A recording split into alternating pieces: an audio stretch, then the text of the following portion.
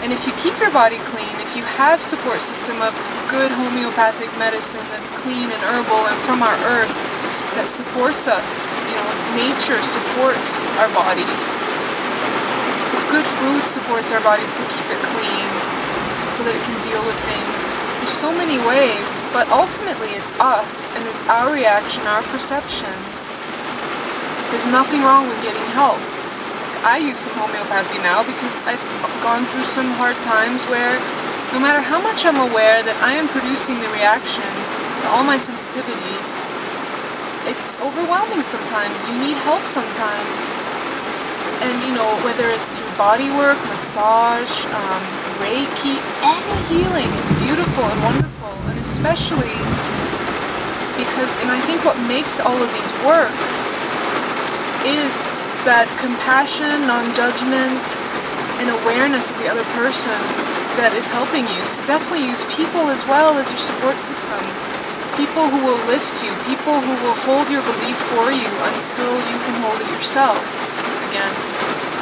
Um, support is wonderful, especially non-commiserating one, non-supporting your story about yourself.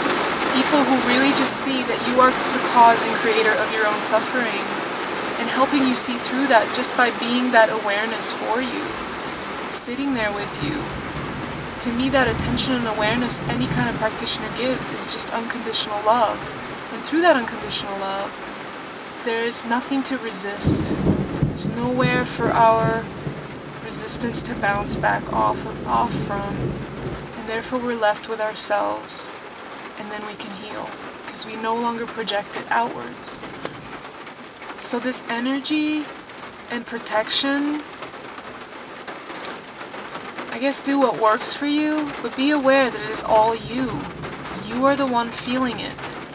There's nothing out there. You're safe. You're always safe. It's your perceptions that are coming up to be let go of and released so that you know that you're safe. We're always safe. In every moment, we're safe. We might be faced with some troubles, we might be faced with some abusive situations, but they're temporary. And it's afterwards is how we hold these and how, what we believe about ourselves after they happen. But in the moment, every moment, most moments, you are safe. Always. There's nothing out there to get you. There's nothing out there to protect yourself from except for yourself. And if you need help protect yourself from yourself, then go get it. But ultimately, no, it's you. Um, this has been my experience anyway, and it's just what is ringing true for me. You know, I've I've met and talked with so many healing modality people about this, or I haven't really talked, but I've just listened, and it just doesn't sit right with me that there's something out there to get me, or some energy's hitting the earth, and there's a spinning that's going faster and faster. Yeah, there's a spinning because we are becoming more and more aware, and there's more and more people out there who are really in that place of figuring out that we are in a physical dual world, but ultimately it's our perceptions that make it good or bad. It's just us. And there's a lot of self forgiveness to be had. And those of us who are able to forgive ourselves and move on, let go of the past, not worry about the future, no matter what, because yes, there are climate changes, yes, there's different events happening, and also it's just that we're more aware of them. I think these ha events have always been happening, it's just we haven't had the access to all the information. And information can be very overwhelming. And so more and more people are picking up on this, and and that that's where the spin and the faster and everything's going. And also people are becoming more aware of the flow of life. Um, how the more we go with the flow, the faster life goes, and more changes happen, or more changes we allow to happen, because change is inevitable. So anyway, I just wanted to talk, and I went on and on, but I just think about this, the whole energy thing, and energetics, and what are you projecting outside of yourself to make yourself feel better? And that's okay too, we all do it.